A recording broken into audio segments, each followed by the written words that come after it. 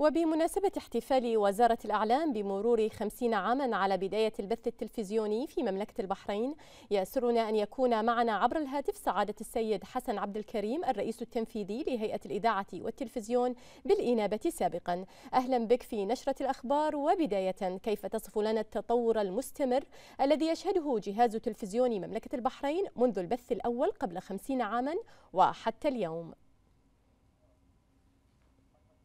طبعا يسجل آه، التاريخ لمملكة البحرين ريادتها في مجال الإعلام آه، بعد انطلاق إذاعة البحرين عام 1955 وكذلك ريادة مملكة البحرين في البث التلفزيوني في عام في 9 9 عام 1973 نعم.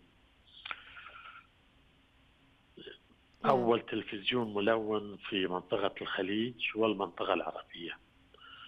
هو التلفزيون في تطور مستمر في تجهيزات الاستوديوهات واستوديوهات البرامج واستوديوهات الأخبار.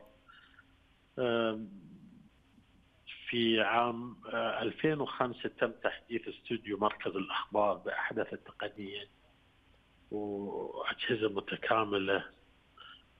مبنى وتجهيز بالكامل تجهيز متطور تقني. نعم.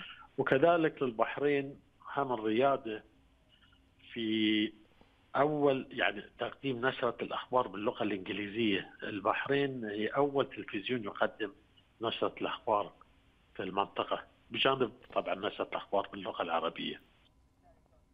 نعم كيف استطاع تلفزيون البحرين أن يتميز عن غيره خلال هذه العقود وما هو دور الكوادر البحرينية في ذلك؟ يعني تلفزيون البحرين آه، آه، في مواصلة التطور التكنولوجي استطاع أنه يعني يواكب التطور التكنولوجي بحضور المعارض الهندسية العالمية والمشاركات بالمهرجانات المحلية والمهرجانات العالمية.